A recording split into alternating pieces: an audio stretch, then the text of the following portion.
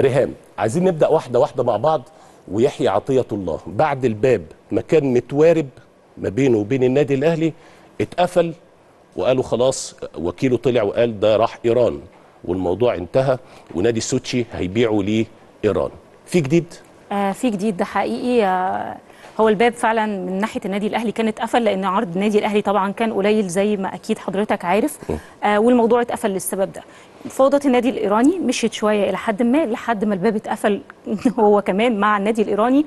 والسبب الأساسي لغايه الباب في التفاوضات مع النادي الإيراني كانت برضو المطالب المادية لنادي سوتشي بالإضافة لمطالب اللاعب. بدأوا إن هم يلاقوا في مغالاة في المطالب المادية بتاعة النادي وحتى للاعب كمان. وبالتالي بدأوا إن هم ينسحبوا مرة تانية من الصفقة بعد ما كان خلاص الصفقة قربت وشبه آه يعني خلاص على أبواب إن هي تتم يعني. آه بقى في خطوة ومن أسبوع تقريبا كان آخر تواصل ما بين النادي الإيراني وما بين النادي الروسي.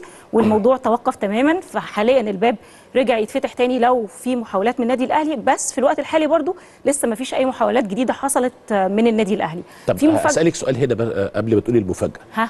هل ال- القصة ما بين الأهلي وسوتشي على إن الأهلي عايز إعارة سنة وسوتشي مصمم على بيع اللاعب؟ آه. هي دي الأزمة إعارة. الحقيقية. إعارة.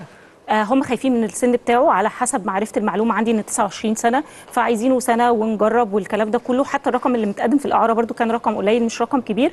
لكن النادي هناك هو الرغبة الأساسية عنده إن أنا لو. هطلع اللاعب من عندي أنا هبيع غير كده النادي اللاعب يكمل معايا بشكل عادي خالص يعني. آه المفاجأة البسيطة اللي معايا. ان بعد التفكير في يحيى عطية الله آه النادي الإيراني بيفكر في ظهير أيسر موجود وبيلعب في الدوري ال- المصري وسألوا واستفسروا عنه كده استفسار خفيف النادي أو بسيط. الإيراني آه. عايز مدافع في الج... في المدافع آه أيسر. باك شمال بالظبط. باك شمال من الدوري المصري؟ back شمال البنك الأهلي. سأل عليه واستفسر عليه يعقوبه إسحاق يعقوب. أيوه بالظبط سألوا عليه. هو اللي بيدرب النادي الإيراني ده مصري ولا إيه؟ آه جريدو جريدو الإسباني اللي درب النادي الأهلي. جريدو هو اللي بيدربه يعني جريدو لما ساب اتحاد العاصمة طلع على إيران؟ بالظبط فهو عارف الدوري المصري وعارف لعيبة كتير. وعلى طبعاً. فكرة اللي أنا عرفته كمان يعني في معلومة جديدة برضو كنت عرفتها إن اللاعب اللي كان مرشح آه للنادي الإيراني قبل حتى يحيى عطية الله كان back شمال الإسماعيلي. أعتقد اسمه دسوقي تقريبا صح؟ آه، دسوقي. هو back آه، شمال الإسماعيلي هو اللي كان مرشح قبل يحيى عطية الله. محمد الدسوقي محمد الدسوقي بالظبط كده. وبالتالي ابتدوا إن هم يروحوا لعطية الله بعديها لأن عرفوا إن الدسوقي بيفكر آه، تفكير تاني خالص. جريدو طلع مش سهل. أيوه.